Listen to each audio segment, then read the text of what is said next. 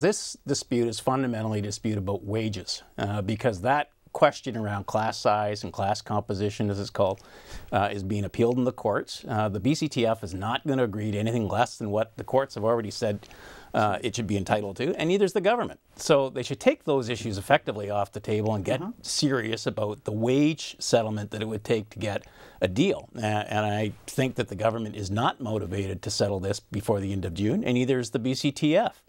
Uh, parents will be minimally inconvenienced. Uh, kids won't be as inconvenienced as they might have been uh, from the sounds of it. If the report cards get uh, issued and, uh, and marks get, uh, get marked, you know, where's the harm going to be for, for the parents and for the kids that would cause political pressure to solve this deal?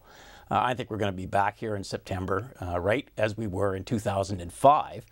Uh, and that caused a lot of grief. 10 days of strikes in 2005 at the beginning of the school year was enormously tough on the government politically, uh, and it was forced to make some compromises it didn't want to make.